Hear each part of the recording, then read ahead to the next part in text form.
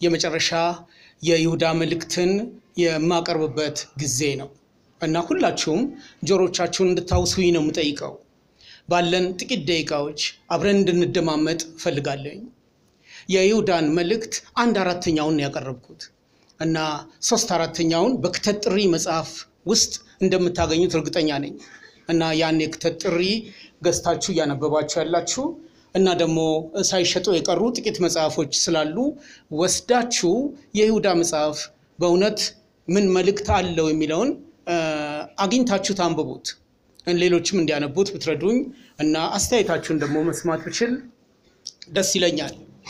እነዚህ መዘምራን ይትባረክ ወንድሜ እንደነገረኝ አሜን ተብለው ነው የሚጠሩት። ልክ ነው። አሜን መዘምራን። አሜን የበኩር ልጄ ስም ነው። የመጀመሪያ ልጄን የመጀመሪያ ልጃችንን አሜን ብለን የጠራናት ይህንን ስም ለእሷ ፈልገን በጣም እንዲመቻት በሚል አይደለም የሰጠ ነው። ስሟ ተከታታይ ሆኖ ሲሰለፍ ትርጉም ያለው የወንጌል መልእክት ሊኖረው እንደሚችል እንደ አማርኛ የቋንቋ አስተማሪነቴ ስለተረዳው ብቻ ነው። አሜን ስሜ ታደሰ ገብረ ክርስቶስ ይሆናል። ይሄ ደግሞ ራሱን የቻለ አረፍተ ነገር ነው። ስሜ የኔ ስም የታደሰልኝ በክርስቶስ ስራ አማካኝነት ነው። ከዚህም የተነሳ ለእግዚአብሔር ክብር ይሁን በሚል አሜን ያልንበት ምስክርነት ነው። የእናንተ የመጠሪያ ስም አሜን በመሆኑ በጣም በጣም ደስተኛ ነኝ። እናንተንና ሌሎችንም ደግሞ ከመዝሙር ጋር በተገናኘ ከይሁዳ ሀሳብ ጋር አጣጥሜ ጥቂት ነገር አስቀድሜ መናገር እፈልጋለሁ። መዝሙር እግዚአብሔርን የምንገልጽበት፣ መዝሙር እግዚአብሔርን የምናመልክበት፣ መዝሙር እግዚአብሔርን የምናመሰግንበት እና መዝሙር ቃሉን የምናስተምርበት በዜማ ደራሽ የሆነ የመልእክት መስጫ አገልግሎት ነው። ይሄው ብቻ ነው በሱ ውስጥ ሊተላለፍ የሚችለው።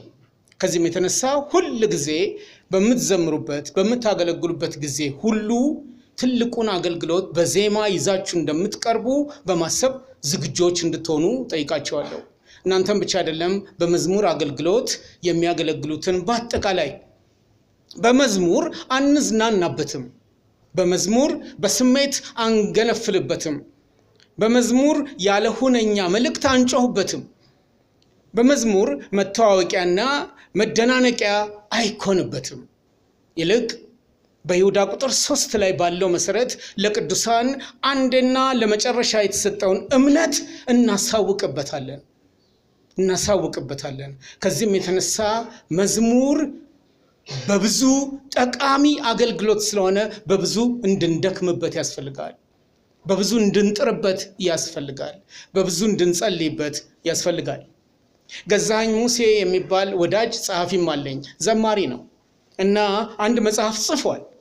በጻፈው ውስጥ የወሰደውን ጥቅስ ልነግራችሁ ፈልጋለሁ።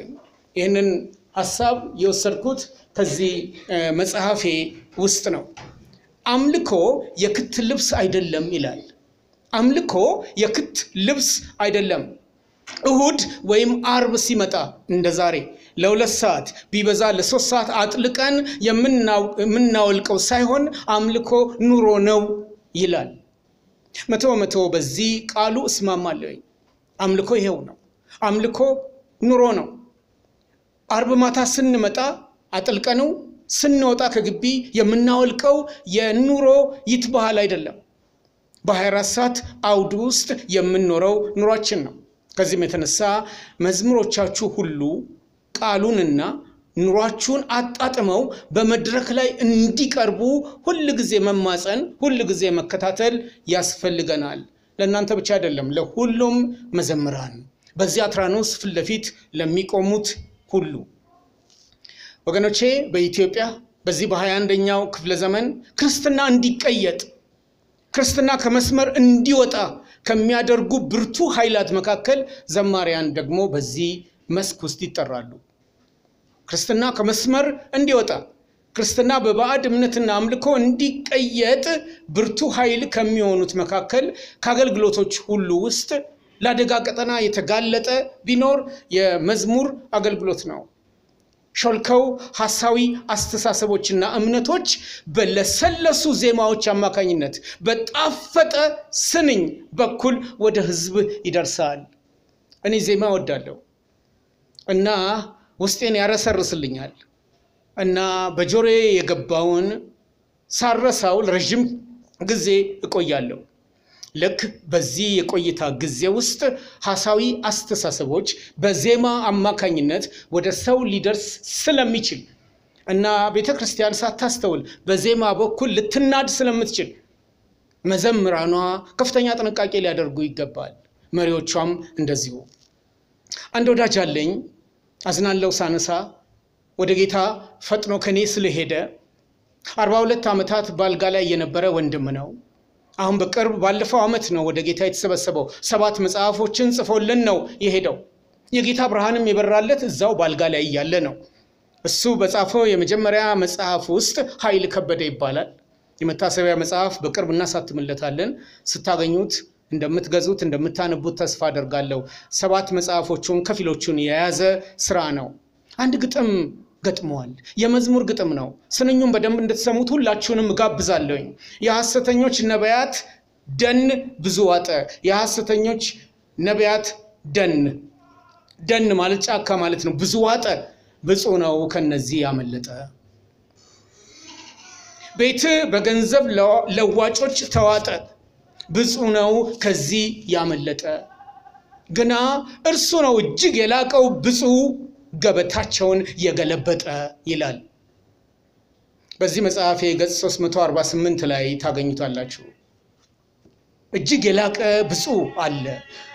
ብፁዕ ተብለው የሚጠሩ ሰዎች አሉ። በሐሰተኛ ነቢያት፣ በሐሰተኛ አስተሳሰብና አስተምህሮ ያልተዋጡ ብፁዓን ናቸው። ቤቱ በገንዘብ ለዋጮች ሲዋጡ ከዚህ ያመለጡም ሰዎች ብፁዓን ናቸው። ነገር ግን ከነዚህ ከሁለቱ የበለጡት እጅግ የላቀ ብፁዕ የሚባሉት ግን ገበታቸውን የገለበጡት ናቸው። ወገኖቼ ገበታቸውን የገለበጠው በታሪክ ውስጥ እና በወንጌላት እንዳነበብነው ጌታችን ኢየሱስ ክርስቶስ ነው። ጌታችን ኢየሱስ ክርስቶስ ነው ቤተ መቅደሱን የሚያረክሱትን ለአፍታ አልታገሰም፣ ለአፍታ አልታገሰም። እንደ እውነቱ ከሆነ እነርሱን መታገስ እና መለማመን አያስፈልግም። ገርፎ እና ገበታቸውን ገልብጦ ከመቅደስ ከግቢው ማውጣት ተገቢ የሆነ አገልግሎት ነው። መዘምራን የሚዘምሩት ስንኞች ይህን አቅም ፈጣሪ መሆን አለባቸው እና ሐሳዊ አስተሳሰብን የይሁዳ መልእክት የሚሰጠውን ጥልቅ ትምህርት በዜማቸው ቀይረው ሊያቀርቡት ይገባል። እንደ ኢየሱስ ፈለጉን ሊከተሉ ይገባል። መዘምራን ብቻ አይደሉም፣ አገልጋዮች ሁላችን አገልጋዮች ብቻ አይደለም፣ ሁላችን ክርስቲያኖች አገልጋዮች ነን።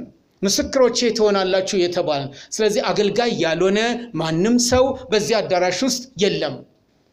ያለ ጌታ የሆናችሁ ሰዎች ካላችሁ እናንተን አይመለከትም። መንፈስ ቅዱስ ለእናንተ ብርሃኑን ያብራላችሁ።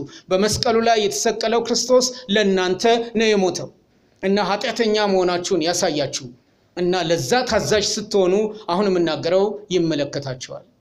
እየተናገርኩ ያለሁት ግን በጌታ ለሆነው ሰዎች ነው። መዝሙር፣ ስብከት፣ ትምህርት ሁሉ በጎ ለውጥን ለማምጣትና በጤነኛው አስተምህሮ ላይ ለመቆም እንዲያግዙ መሆን አለባቸው። ቤተ ክርስቲያንም ለዚህ ነው መስራት ያለባት። መጋቢያችሁ መድከም ያለበት ለዚህ ነው። በቤተ ክርስቲያን ውስጥ ያሉት አስተማሪዎች፣ አገልጋዮች በአጠቃላይ ለዚህ ነው መቆም ያለባቸው። ምክንያቱም የይሁዳ መልእክት የሚለን በቁጥር ሶስት ላይ ይህንን ነው። ወዳጆች ሆይ አብረን ስለምንካፈለው ድነት ልጽፍላችሁ እጅግ ጓጉቼ ነበር። ነገር ግን ለቅዱሳን አንዴና ለመጨረሻ ስለተሰጠው እምነት እንድትጋደሉ ለመምከር እጽፍላችሁ ዘንድ ግድ ሆነብኝ ነው ያለው የጌታ ወንድም ይሁዳ። በሦስቱም ሳምንቶች ለዚህ ቁጥር ትኩረት ሰጥቻለሁኝ። እናንተም በጥናታችሁ ከልብ ትኩረት እንድትሰጡ ትፈልጋለሁ። ከዚህም ተነስቼ ነው የክተት ጥሪ የሚለውን መጽሐፍ ለመጽሐፍ የተነሳሁት። ይሄ ቃል አዋጅ ነው። ይሄ ቃል ለጦርነት ውጣ የሚል ነው።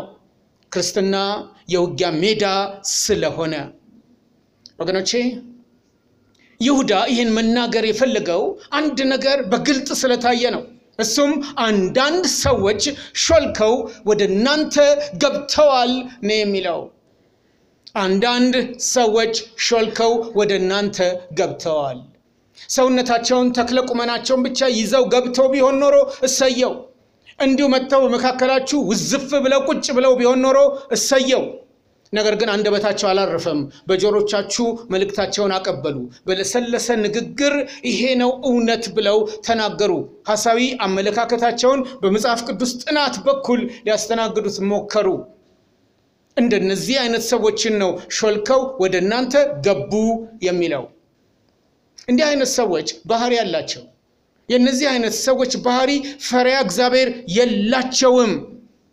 ስለ እግዚአብሔር ይናገሩ እንጂ እግዚአብሔርን አያውቁትም። ፈሪያ እግዚአብሔር የላቸውም የሚለው ይሁዳ ነው። አንብባችሁልኝ ስለመጣችሁ ሁለት ሶስቴ ስላነበባችሁት አሁን የምናገረው ነገር ፈጽሞ ለማናችሁም እንግዳ አይደለም። ሾልከው የሚገቡ ሰዎች ፈሪያ እግዚአብሔር የላቸው። ያ ብቻ አይደለም፣ የተሰጠውን ታላቅ ጸጋ በርኩሰት ይለውጡታል። አሁን ራይል ሲዘምሩ ሁላችን እልል ያልንበት መዝሙር የገለጡት ጸጋን ነው። የጸጋን ምንነት ነው በመዝሙራቸው ውስጥ የገለጡት። ደስ ብሎናል፣ እፎይ ብለናል፣ እነሱም ረክተውበታል። እነዚህ ሾልከው የገቡት ሰዎች ግን የተሰጠውን ታላቅ ጸጋ በርኩሰት ይለውጣሉ። በዚህ መድረክ ላይ እንደምታዩት ኢየሱስ በሚለው ላይ ሌላ ነገር ይጨምራሉ። ባህሪያቸው ይሄ ነው። የተሰጠውን ጸጋ በርኩሰት መለወጥ። ዘልዛላ ህይወት እንድንኖር ያመቻቹናል።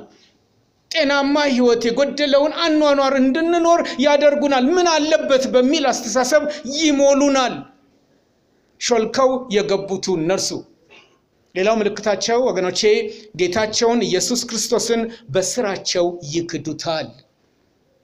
በስራቸው ይክዱታል። ይህን ነው የሚነግረን ይሁዳ። ከዚህም የተነሳ ነው ወገኖቼ ለክተት ጥሪ በሕይወት አለን የምንል እኛ ምላሽ መስጠት ያለብን። በሕይወት ያለን እኛ ምላሽ መስጠት ያለብን። ይሁዳ ችግር አሳይቶን መፍትሄ ሳይሰጠን አልተወንም። የእግዚአብሔር ቃል ስልሳ ስድስቱም ቅዱሳት መጽሐፍት በአግባቡ ከተጠኑ ያሳያሉ፣ አቅጣጫን ይመራሉ፣ ኃላፊነታችን እንድንወጣ አድርገው ያግዙናል። ይሁዳ ግን አንድ ምዕራፍ ነው። በአንዱ ምዕራፍ ውስጥ ግን ችግሮችን አሳይቶ መፍትሄን ጭምር በዛችው 25 ቁጥሮች ውስጥ አስቀምጦልናል። እና ችግሮች ሊፈቱ የሚችሉት ታሪክን በወጉ በማጥናት ነው ይላል። የኋላ ታሪኮችን ተመልሶ በማጥናት የሕዝብ ታሪክን በተለይ የእግዚአብሔር ሕዝብ የነበረውን የእስራኤልን ሕዝብ ታሪክ በማወቅ እና ደግሞ በስም የተጠቀሱ የእግዚአብሔር ሰዎችን በመጽሐፍ ቅዱስ ውስጥ የተገለጡ በስም የተጠቀሱ ለሰይጣን ያደሩ ሰዎችን ታሪክ በማጥናት በእነርሱ ህይወት ውስጥ የተከናወነውን ጠንካራ ነገር ገንዘባችን በማድረግ ደካማ ጎናቸውን ግን በመተውና በመራቅ መማር እንችላለን ይላል ይሁዳ።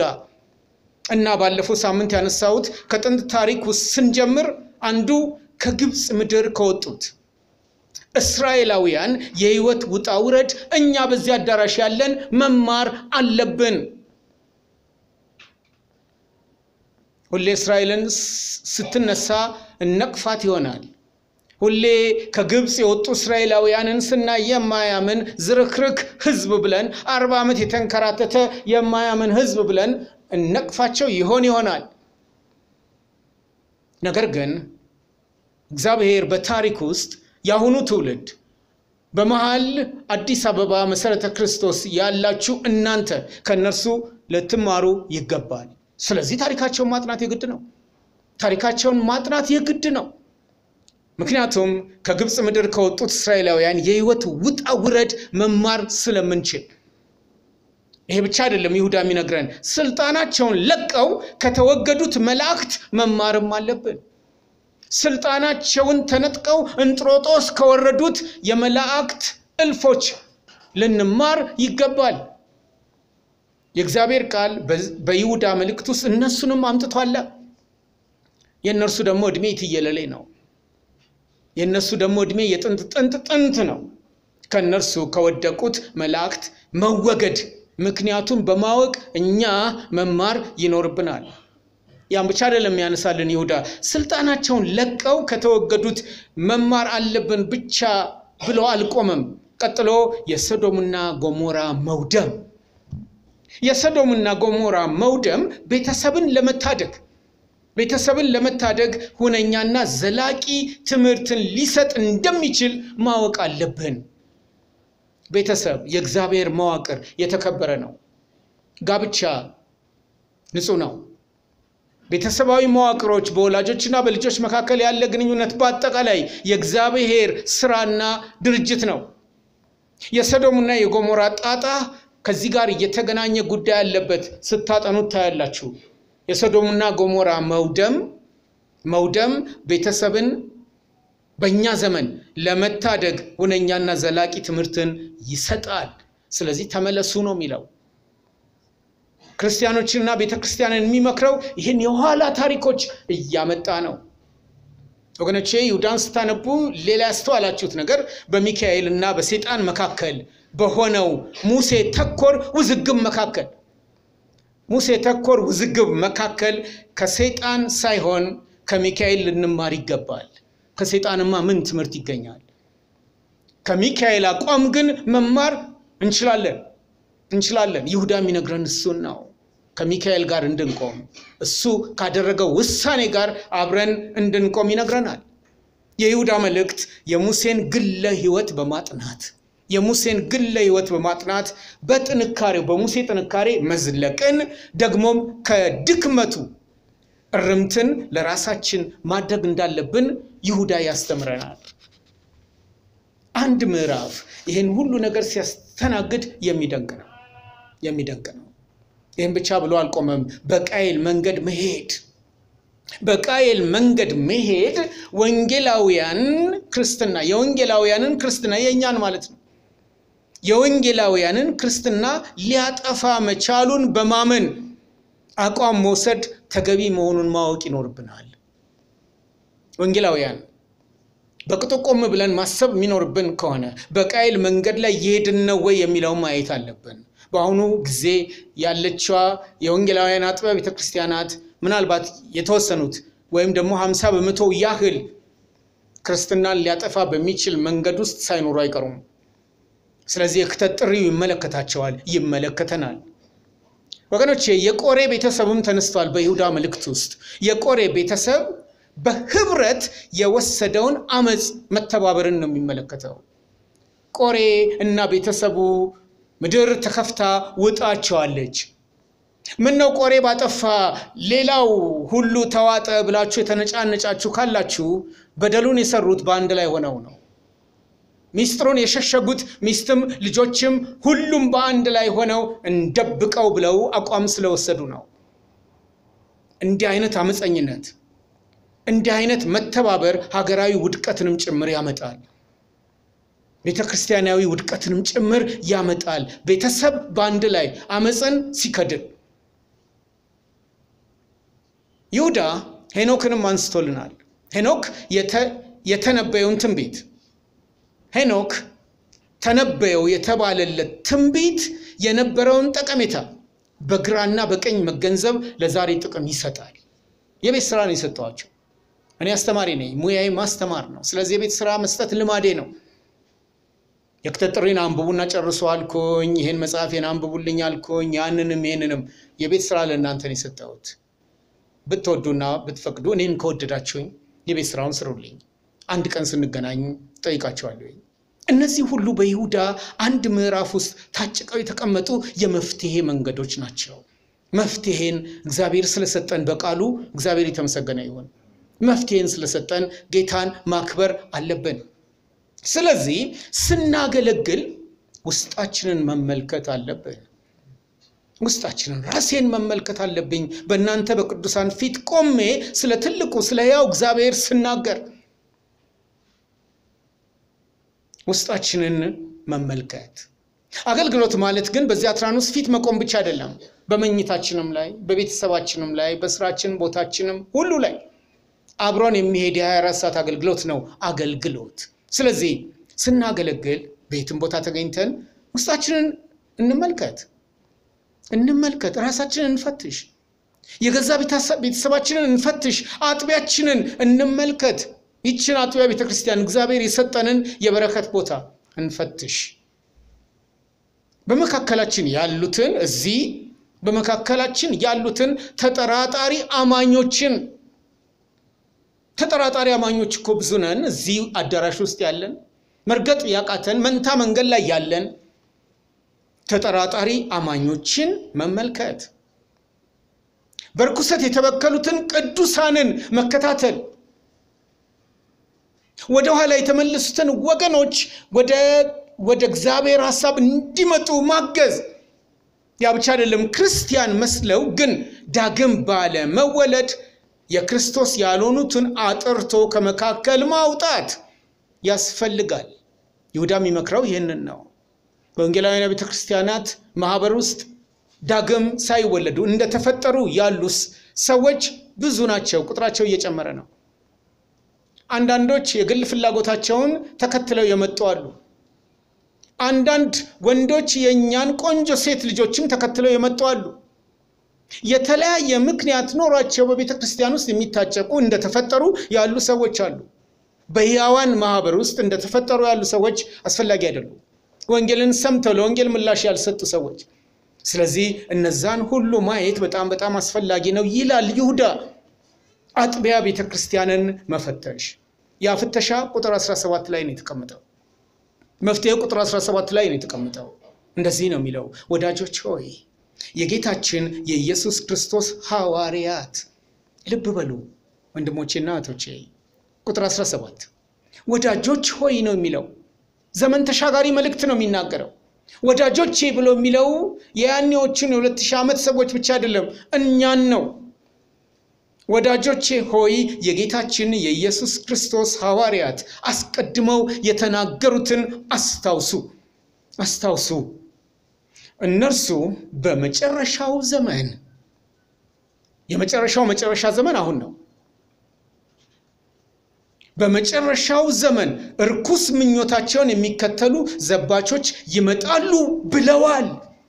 እነማን ናቸው ይህን ያሉት? የጌታ የመጀመሪያዎቹ ደቀ መዛሙርት ሐዋርያት ሐዋርያት በሀያ ሰባቱ የአዲስ ኪዳን መጽሐፎች ውስጥ ብዙውን የጻፉት እነሱ ናቸው። ይህንን እውነት በመልእክቶቻቸው መካከል በወንጌል ውስጥ አስቀምጠውታል። ልብ በሉ። የጌታችን የኢየሱስ ክርስቶስ ሐዋርያት አስቀድመው የተናገሩትን አስታውሱ። ስለዚህ ወደ እግዚአብሔር ቃል መመለስ አማራጭ የለውም። እነሱ የጻፉትን የተናገሩትን፣ ያስተማሩትን ቁጭ ብሎ ማጥናት ምንም አማራጭ የለውም። ክርስትና የውጊያ ሜዳ ስለሆነ የእግዚአብሔርን ሐሳብ ተረድተን የምንወጣበት የጦርነት የትግል ሜዳ ስለሆነ ከሁለት ሺህ ዓመታት በፊት የተነገረው ዘመን ተሻጋሪ ስለሆነ አሁንም ያገለግላል። ወገኖቼ የይሁዳ መልእክት ሲጨርስ እንዴት ብሎ እንደጨረሰ ታስታውሳላችሁ? ቁጥር 25 ልክ በቁጥር አንድና በቁጥር ሁለት ላይ ተስፋን ለሁላችን እንደሰጠ የድነታችንን እርግጠኝነት እንዳረጋገጠ የተጠራነው ከእግዚአብሔር መሆኑን ገና ሲጀምር እንደነገረን ሁሉ ይህን ሁሉ አሳሳቢ ነገሮች ነግሮ ሲጨርስ የሚነግረን አስደሳች ቃል ነው። የሚነግረን አሜን የሚያሰኝ እውነት ነው። እንዲህ ነው የሚለው እርሱ ብቻ አዳኛችን ለሆነው አምላክ እርሱ ብቻ አዳኛችን ለሆነው አምላክ በጌታችን በኢየሱስ ክርስቶስ በኩል በጌታችን በኢየሱስ ክርስቶስ በኩል ከዘመናት ሁሉ በፊት አሁንና እስከ ዘላለም ድረስ ክብር፣ ግርማ፣ ኃይልና ስልጣን ለእርሱ ይሁን። ድምፃችሁን ልስማ። ለእርሱ ይሁን። አሜን አሜን ብሎ ነው የሚጨርሰው። እግዚአብሔር የተመሰገነ ይሁን። በዚህ መጠቅለያ ውስጥ እኮ ወገኖቼ እኛ የወቅቱ ሰዎች ተገልጸናል። እርሱ እግዚአብሔር ከእኛ ጋር ተጋምዶ ተቀምጧል። ስለዚህ በጣም የሚያረካ እውነት ነው እየነገረን ያለው። አንዳንድ ምሳሌዎችን ተናግሬ ይጨርሳለሁ። ሐሳዊ አስተሳሰቦች ሾልከው የገቡበትን አቅጣጫዎች በወንጌላውያን ቤተ ክርስቲያናት መካከል ተገልጸው የነበሩ አንዳንድ ልብ ያላልናቸውን ልብ እንድንል አንድ ወይም ሁለት ምሳሌ አነሳለሁኝ ከተሞክሮ ከምናውቀው በመነሳት ህይወት ወይስ ሞት የሚል ትራክት የምታውቁ እጃችሁን እስቲ ያሳዩኝ። አንድ ሁለት ሶስት አራት አምስት ስድስት ሰባት ስምንት ዘጠኝ አስር ቆጥሬ ያልዘልቅም። በርከት ብላቸዋል። እግዚአብሔር የተመሰገነ ይሁን። ህይወት ወይስ ሞት እኔ ወደ ጌታ በመጣው ጊዜ እጄ ላይ የገባ tract ነው። ስለዚህ tract የተናገርኩበትን ታሪክ በዚህ መጽሐፍ ውስጥ ገጽ 80 እስከ 90 ድረስ አስቀምጨዋለኝ። ሾልከው ከገቡ tract ኦች ውስጥ ሐሳዊ አስተሳሰብን ካስተናገዱ ጽሁፎች ውስጥ አንዱ እሱ ስለሆነ እጃችሁን ያወጣችሁ ሁሉ እንዴ እንደዚህ አይነት ነው እንዴ tract ኡ እንደምትሉ በልባችሁ ጥርጥር የለኝም። ሐሳዊ አስተሳሰቦች ሾልከው የገቡ በሰዎች አማካኝነት የተጻፉ፣ የተሰበኩ፣ የተዘመሩ ምን ይመስላሉ የሚለውን ልብ እንድንል ነው ጥሩ ምሳሌ ያመጣሁት። በጣም ወሳኝ ስለሆነም ነው በትልቁ መጽሐፌ ውስጥ ያካተትኩት። ህይወት ወይስ ሞት በ1967 ገና ጨቅላ ባለውበት ጊዜ እጄ ላይ የደረሰ ነው። ብዙዎቻችሁ በዛን ጊዜ አልተወለዳችሁ፣ ብዙዎቻችሁ ወጣቶች ስለሆናችሁ ገና ናቸው። የዛን ጊዜ ይሄ በራሪ ጽሁፍ እጄ ገባ። እንደገና በ2011 አገኘሁት ከ44 ዓመት በኋላ በየዓመቱ ሳላገኘው ቀርቼ ነበር ማለት አይደለም። ነገር ግን በ1967 እኔ አይቼው አንብቤ የነበረውን እንደገና በ2011 አገኘሁት ከ44 ዓመት በኋላ።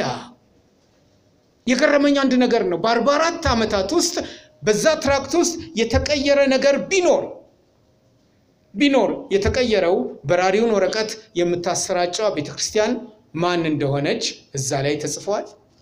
ጥያቄ ካላችሁ በዚህ ስልክ አግኙን የሚል መልእክት ብቻ ተቀይሮ ተጽፏል።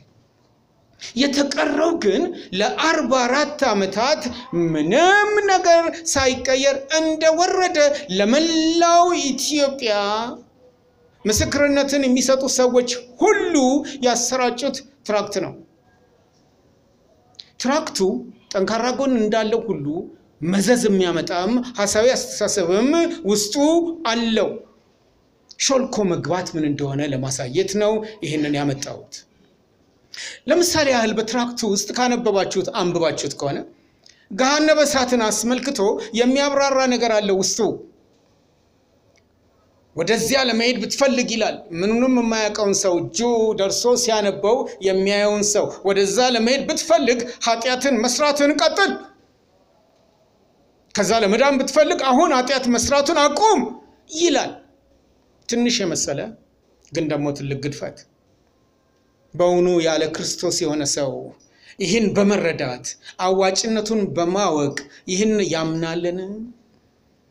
እሱ ቀርቶ እሱ ቀርቶ በክርስቶስ የሆኑት እንዳይዋሹ የተመከሩት ኃጢአት የለብንም ብንል ራሳችንን እናስታለን የተባልነው እውነትም በእኛ ውስጥ የለም። ኃጢአታችንን ብንናዘዝ ኃጢአታችንን ይቅር ሊለን ከአመፃ ሁሉ ሊያነጻን እርሱ ታማኝና ጻድቅ ነው። ማንም ኃጢአት ቢሰራ በአብ ዘንድ ምን አለው? ጠበቃ አለው። እርሱም ጻድቁ ኢየሱስ ክርስቶስ ነው ይላል። አንደኛ ዮሐንስ ላይ ታገኛላችሁ ምዕራፍ አንድ ቁጥር ስምንት እንደገና ምዕራፍ ሁለት ቁጥር አንድ ላይ በኃጢአት ምክንያት ወገኖቼ የረከሰ የሰው ልጅ እኮ መቼም ቢሆን መቶ በመቶ ንጽህናውን ጠብቆ ኃጢአት መስራትን አቁም ስለተባለ ብቻ አያቆምም። ከጋዱ እውነታ ጋር መተያየት ጥሩ ነው። አያቆምም። ይልቁኑ ማንም ኃጢአትን መስራት በማቆሙ ብቻ በማቆሙ ብቻ ዋናው አሳሳቢው ይሄ ነው። ኃጢአት መስራት በማቆሙ ብቻ ያለ ክርስቶስ መንግስተ ሰማይ መግባት እንደሚችል ትራክቱ በጎን ያመላክታል። ይሄ የኢየሱስ ክርስቶስን የመስቀል ስራ ላይ ፍዘትን ነው የሚጠራው። መታረም አለበት። አርባ አራት ዓመት ሙሉ ይህን ሐሳዊ ግንዛቤ ይዞ መዝለቅ የለበትም። በራሪ ጽሑፍ ይሄ ብቻ አይደለም ያለው ብዙ እንከኖች ውስጡ አሉት። ምሳሌ ነው ያመጣውላችሁ። ጥንክር ብዬ የማሳየው የምናነበውን የምናጠናውን የትኛውንም ነገር እጃችን የገባውን እንደ እግዚአብሔር ቃል መፈተሽ ያድነናል፣ በክተት ጥሪ ውስጥ ያሳትፈናል ለማለት ነው። በዚህ ጽሑፍ ውስጥ በኢየሱስ ክርስቶስ የማዳን ሥራ በማመን ትንሽ ጣልቃ ገብታ የምትናገር ቃል ናት። በማመን ኃጢአትን መስራት ካላቆምክ ካላቆምክ በስተቀር ወደ ገሃነመ እሳት እንደምትገባና እንደሚፈረድብህ አትዘንጋ ይላል። ወገኖቼ ለክርስቶስ ምስክሮች እንድንሆን ተጠርተናል። የክርስቶስን ስራ እንድንገልጽ ገሃነብን እያሳየን ሰውን እያስፈራን እንደዛ ጀግና ነኝ እንዳለው እንዲሸና ልናደርገው አይገባም። በድንጋጤ ውስጥ እንዲወድቅ ልናደርገው ፈጽሞ አይገባም። የትኛውንም ሰው የትኛውንም ሰው የክርስቶስ ፍቅር ነው ገጥሞ ቀድሞ ሊገለጥ የሚገባው ሊነገርም የሚገባው ይሄው ነው። ከኢየሱስ መማር ስላለብን ገሃነም ትገባለህ የሚለውን ነገር ቅድሚያ ሰጥቶ ከመናገር የኢየሱስን ክርስቶስ ፈለግ መከተል ነው የሚገባው። ኒቆዲሞስን ሲያገኘው ማንም ዳግመኛ ካልተወለደ በቀር የእግዚአብሔር መንግሥት ሊያይ አይችልም ያለው የእግዚአብሔርን መንግሥት ሊያይ አይችልም። ከእግዚአብሔር የመወለድ አስፈላጊነትን ነው መስበክ ያለብን። በራሪ ጽሑፎች ጤነኞች ካልሆኑ ሁላችንን ይዘው ሊጠፉ ይችላሉ። ወደ ገሃነመ እሳት እንዳትሄድ ትፈልጋለህን? በሚለው በዚሁ ጽሑፍ ውስጥ ጥሩ ጥሩ ሀሳቦችን አግኝቻለሁኝ። በመሰረቱ ዳግም ልትወለድ ትፈልጋለህን? በሚለው መስመሮች ውስጥ ያየሁት የሰውን ውድቀት በመግለጽ የኢየሱስን እውነተኛ መንገድና አድራሽነቱን እንዲሁም ሕይወትነቱን በመዘከር በራሪዋ ጽሑፍ ትንሽ መጠነኛ ደስ የምታሰኝ ነገር አኑራለች። ዙሪያዋን የከበቧት ግን ያችን ብርቅዬ እውነት እንድናይ በሚያደርግ እንዲያዩ በሚያደርግ መንገድ ግን አይደለም። በውስጡ አስተውዬ ካየሁት አንዱ አንተ አሁን ይላል በጌታ በኢየሱስ በማመንህ ብቻ የእግዚአብሔር ልጅ ነህ የሚል ቃል አለበት። ይሄ ነገር እውነት ነው ወይ? እጃችሁን አውጡልኝ ብል እኔም ጭምር ነኝ ማውጣው። አንተ አሁን በጌታ በኢየሱስ በማመንህ ብቻ የእግዚአብሔር ልጅ ነህ የሚል ሐረግ በዛ ጽሑፍ ውስጥ ማግኘት በጣም በጣም አስደሳች ነው። ኢየሱስ ክርስቶስን በማመን በብቻው የእግዚአብሔር ልጅ እንደሚያደርግ ነው የሚያበስረው። ይሄ ደግሞ ልጅነት መለኮታዊ ከመንፈስ ቅዱስ የተገኘ ዘላለማዊ መሆኑን ያረጋገጠልን የእግዚአብሔር ልጅ የእግዚአብሔር ልጅ ትሆኛለሽ በማለቱ ነው። የእግዚአብሔር እውነት ኃጢአትን መተው እንጂ መናዘዝ ብቻ ወደ መንግሥተ ሰማይ አያስገባም እያለ እንዲቀጥል ወይም ደግሞ የበሽታን ስም ጥራና በኢየሱስ ስም ልቀቀኝ ብለ እዘዘው አሁኑኑ ይለቃል በሚል ማባቢያ ትራክት መሞላት የለበትም። ምክንያቱስ በነፍሱ የዳነ ሁሉ በስጋው ይፈወሳል እንዴ? አይደለም፣ አይደለም። ዳግም የተወለድን ሁሉ ዳግም በመወለዳችን ከስጋ ችግሮቻችን ነፃ እንደምንወጣ የሚነግሩ ትራክቶች ሀሳዊ አስተሳሰቦችን የሚያስተናግዱ ናቸው። አንዳንድ ጊዜ የጤና ችግር ወደ ክርስቶስ ቁመትም ልናድግበት የሚገባ ከሆነ ረጋ ብሎ መፈተሽ ያስፈልጋል። ይሁዳ በቁጥር አንድና ሁለት የሚነግረን እንደገና በቁጥር 25 የሚነግረን ይህን እውነት እንዳንኖር የሚያደርጉ አስተሳሰቦችን በየትኛው መንገድ መንፈሳዊ መስለው የመጡትንም ጭምር ተመልከቱ ነው። ስንመለከት ታዲያ ወገኖቼ ሰው ራሱን ማዳን አይችልም። ይችላል እንዴ? ሰው ራሱን ማዳን አይችልም። ራሱን መቀደስ አይችልም። ሰው በራሱ ከሕያው እግዚአብሔር ጋር መገናኘት አይችልም። የወደቀ ሰው አትጠራጠሩ። ማናችንም ራሳችንን ማዳን አልቻልንም። ማናችንም ወደ እግዚአብሔር መድረስ ሞክረን ነበር፣ ተንደፋድፈናል፣ ግን አልተሳካልንም። የሰው ልጆች በአጠቃላይ ይሄ አልተሳካላቸውም። ስለዚህ እግዚአብሔር አብ እኛ ወደ እሱ መድረስ ስላልቻል እሱ ወደ እኛ ደረሰ። እሱ አማኑኤል የሚል ስምን ይዞ መጣልን። እግዚአብሔር ከእኛ ጋር ሆነ። ክርስትና እሱ ነው። እግዚአብሔር ወደ እኛ የመጣበት ህይወት ድነትም እሱ ወደ እኛ በመምጣቱ ያገኘነው ታላቁ ስጦታ ነው። ስለዚህ ወገኖቼ ትራክቶቻችን፣ ምንጽፋቸው ጽሁፍ፣ ምንሰብካቸው ስብከቶች ሰው ራሱ ወደ ሰው ልጆች እግዚአብሔር ራሱ ወደ ሰው ልጆች መምጣቱን ለኃጢአተኛው ሰው ምትክ መሆኑን ኢየሱስን ብቻ ማሳየት የሚችል አቅም ይዘን መገኘት ይኖርብናል። ኢየሱስ ይህንን ጽሑፍ ይዩት። ምንም የተጨመረበት ነገር የለም። ሁሌም በመድረካችሁ ላይ እንዲሁ ባየው ደስ ይለኛል። ኢየሱስ ብቻ። ይልቅ ይሄ ትራክት መናገር የነበረበትን ትላልቅ ነገሮችን ትቷል። የተወው ምንድን ነው? ኃጢአት ምንድን ነው የሚለውን አልተረጎመም። እንዴት ዳግም ያልተወለደ ሰው ኃጢአት ምንድን ነው የሚለው ሳይገለጽለት እንዲድን እንፈልጋለን? ኃጢአት ምንድን ነው አልተነገረም። ሰው ድነት ያስፈለገው ከምንድን ነው? መልስ የለውም። ዳግም ለመወለድ የሰው ልጅ እንዴት ይችላል? ትራክቱ አይናገርም። የእግዚአብሔር ፍቅር በኃጢአት ለወደቀው ሰው እንዴት ተገለጠ ለሚለው ምንም ማብራሪያ የለው። ሰው ገሃነብን በመፍራት አማኝ መሆን አለበት ወይስ የእግዚአብሔርን ስጦታ በመገንዘብ ከእርሱ መለኮታዊ ጥሪ የተነሳ ማመን አለበት የሚለውን ትልቅ እውነት አይናገርም። ለምን ይሄ ሆነ? ባለማወቅ ሊሆን ይችላል። ያቺ ቤተ እምነት ያደረገችው የእግዚአብሔር ቃል እውቀት በሙላት የሌላቸው ሰዎች በቅናት ተነስተው የጻፉት ሊሆን ይችላል። ግን አስገራሚው ነገር ያቺ ቤተ እምነት ትላልቅ የመጽሐፍ ቅዱስ ኮሌጆችን ሁሉ ከፍታ ባለበት ዘመኗ ይህን ሳታርም መቅረቷ ነው። ይህን ሳታስተካክል መተዋ ነው። ለ44 ዓመታት እያተመች አሁንም እያታመች መዝለቋ ነው። ሐሳዊ አስተሳሰብ ሾልኮ ሲገባ እንደዚህ ነው እንደዚህ ነው። እንዲህ አይነት ሐሳዊ አስተሳሰብ የመንፈስ ቅዱስ እገዛ በውስጡ ስለሌለበት ሰዎች በሙላት ሊድኑበት፣ መንፈስ ቅዱስም የሰዎችን ልብ ሊነካበት አይችልም ብዙ ጊዜ። ስለዚህ ወገኖቼ ለእግዚአብሔር ቃል ታማኝ ባለመሆን ለሚጻፉ ለእግዚአብሔር ቃል ታማኝ ባለመሆን ለሚዘመሩ፣ ለሚሰበኩ ክርስቲያናዊ ስራዎች ሁሉ ተቆርቋሪ መሆን አለብን። ተመልካች መሆን አለብን። አድማጭ መሆን አለብን። አንባቢ መሆንም አለብን። በስራቼ ላይ አድራሻዬን ጽፌያለሁ፣ ስልኬንም ጽፌያለሁ። ሐሳዊ አስተሳሰብን ለማሽሎክ ሞክሬ ከሆነ እባካችሁ ጻፉልኝ፣ እባካችሁ ደውሉልኝ፣ ጠርታችሁ ገስጾኝ፣ ለመጋቢያችሁም ነግራችሁ አጋልጡኝ። ሰው ስለሆንኩ ከደካማ ጎኔ ልሳሳት የምችለው ነገር ይኖር ይሆናል። አቅም በማነስ ማረም ይኖርብኛል። እንግዲህ መልእክቴን የምጨርሰው በተሞክሮ ምሳሌ ይሁንልኝ። እኔና ልጄ ብዙ የምንጠቀመው ትራንስፖርት አውቶቢስ ነው። ቀድሞ የነበርኩት የሺደበሌ ቀራኒዮ በሚባል ስፍራ ነበር እና የዘውትር ደንበኛዬ 37 ቁጥር ናት። እሷን ሳይ እሮጣለሁ። እንደ እናቴ ልጅ ትናፍቀኛለች።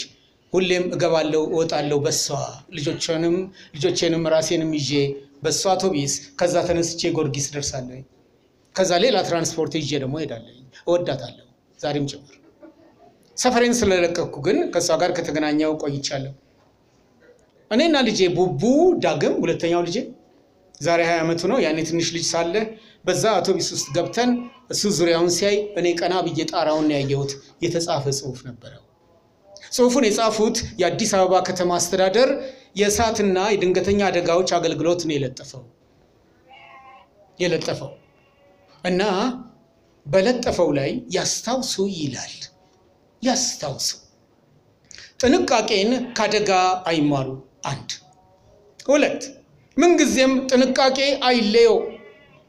ሶስት እርካታችን ሕይወትና ንብረትን ከማናቸውም አይነት አደጋ መታደግ ነው ይላል። ይችን ያነበብኩት ግን ባነበብኳት በዛች እግዚአብሔር ደግሞ አስተማሪኝ አስተማሪኝ።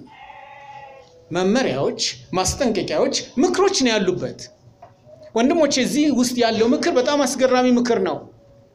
ፊታችን ከተጠበሰ በኋላ በእሳት አካላችን ከተጎዳ በኋላ ንብረታችን ላይመለስ ከወደመ በኋላ ከጥፋቱ የተነሳ መጠንቀቅ መልካም ቢሆንም መልካም ቢሆንም ከዚህ የተሻለው ግን ጥንቃቄን ከአደጋ ከመማር ያለ አደጋ በጥንቃቄ ለመኖር መዘጋጀት ያስፈልገናል። ተጠብሰን ከምንማር ንብረታችን ወድሞ ከምንማር ተጠንቅቀን በመኖር ነፍሳችንን ሕይወታችንን ብናድን የተሻለ ይሆናል። ወገኖቼ ይሁዳ ከዚህ ያልተለየ ምክርን አይደለም የሚናገረን። አስታውሱ የሚለን አስተውሉ የሚለን ተጠንቀቁ፣ አስጠንቅቁ የሚለን ይሄንኑ ነው። ይሄንኑ ነው። ለምን አላግባብ እንጎዳ? ለምን አላግባብ ሕይወታችን ይቀጨጭ? ለምን በምድር ላይ ስንኖር ጌታ የጸለየውን ጸሎት እንዳንጸልይ በሚያደርግ ህይወት ውስጥ ለምን እንኖራለን? እሱ በምድር የሰጠኝን ስራ ፈጽሜ ያከበርኩ ነው ያለው። የማያከብር ህይወት ኖረን ሞታችን ደጃፍ ላይ ለመድረስ ለምን እንፈልጋለን? ቀድመን መጠንቀቅ ይኖርብናል። ወንድሞቼ፣ እናቶቼ፣ ወጣቶች በተለይ ይህ ልታስቡበት ይገባል። ቀድመን መጠንቀቅ ይኖርብናል። ከአደጋ መማር የለብንም። ሁለተኛ ምሳሌ ዳክያዋና ሰይጣን የሚል ነው። ወንድምና እህት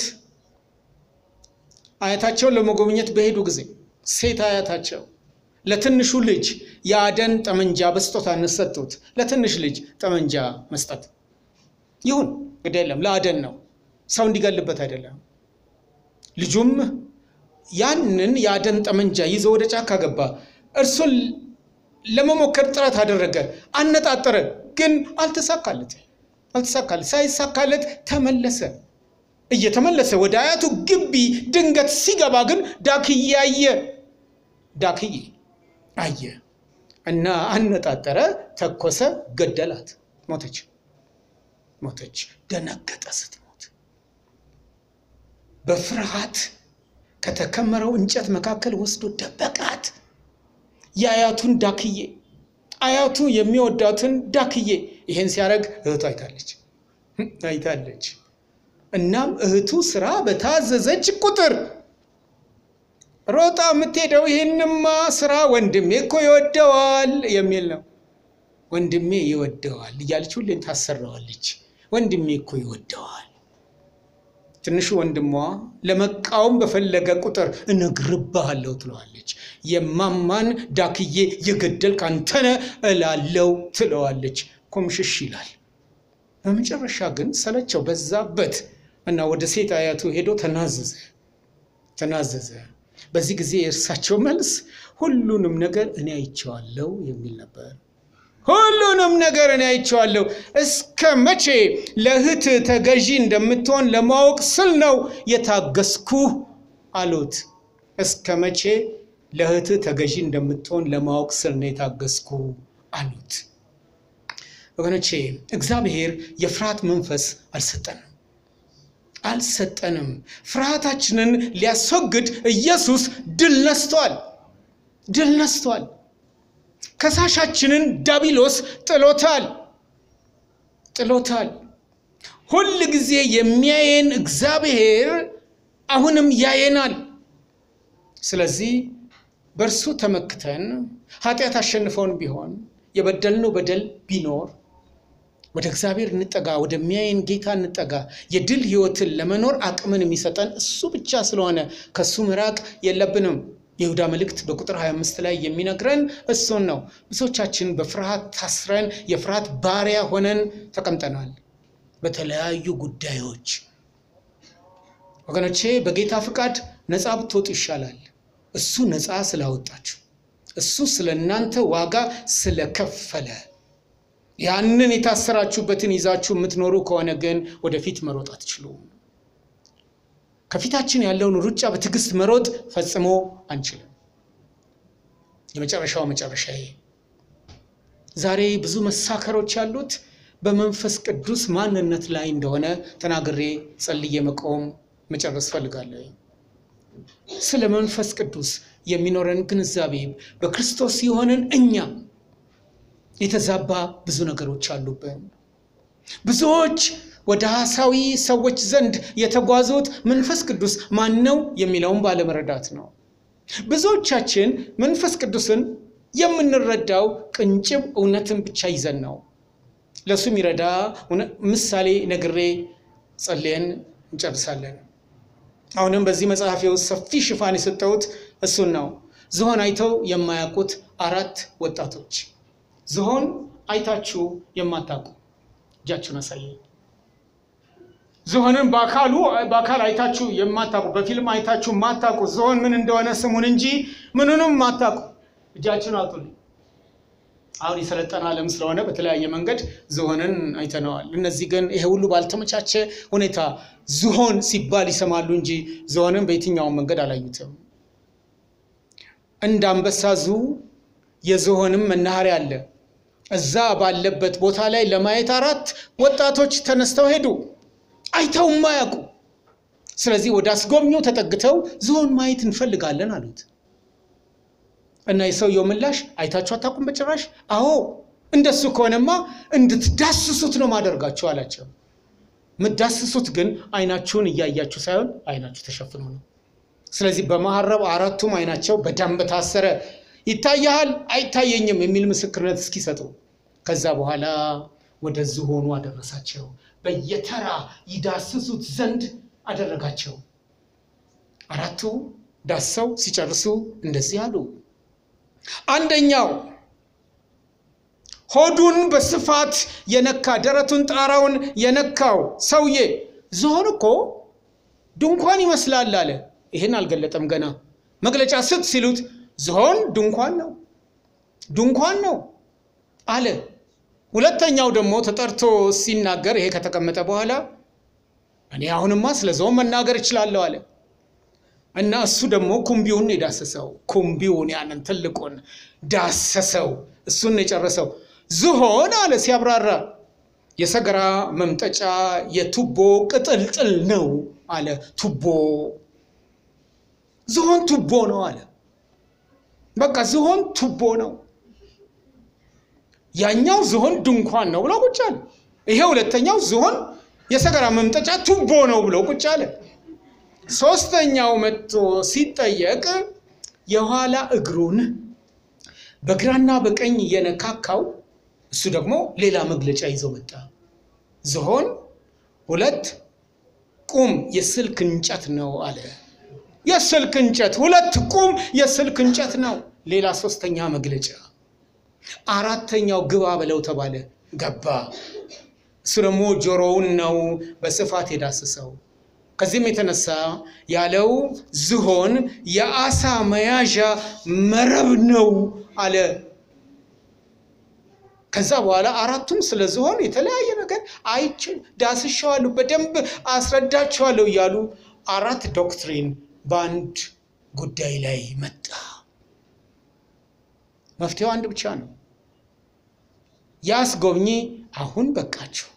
አክርረው ሲሄዱ የኔ ልክ ነው የኔ ልክ ነው የኔ ልክ ነው ሲሉ በቃ ጽንፈኝነቱ ይቁም፣ አይናችሁ ላይ የታሰረውን ግለጡት አላቸው። በገለጡ ጊዜ ያዩት ነገር ፈጽሞ እነሱ ካሰቡት ጋር ፈጽሞ አይገናኝም። ቅንጭብ ነገር ብቻ ነው የወሰዱት። በቅንጭብ ነገር እግዚአብሔርን መረዳት አንችልም። በቅንጭብ ግንዛቤ በሙላት ደፍረን መናገር አንችልም። በተለይ ወገኖቼ በመንፈስ ቅዱስ አስተምህሮ ላይ በመንፈስ ቅዱስ ጉዳይ ላይ በሙላት እግዚአብሔር መንፈስ ቅዱስን ለመረዳት እግዚአብሔር ይርዳን። በእግዚአብሔር ቃል በኩል ተገልጦልናል። ሽርፍራፊ ነገር ይዘን በየደጃፉ አንማፀን። ጎዶሎ ነገር ይዘን ይሄ ነው መንፈስ ቅዱስ አንበል። ሙሉውን ነገር ስንናገር መንፈስ ቅዱስ ለቤተ ክርስቲያን ተሰጥቷልና በእኛ ስራውን ይሰራል። ወገኖቼ ከዚህ በላይ መሄድ ተገቢ እንዳልሆነ እርግጠኛ ነኝ።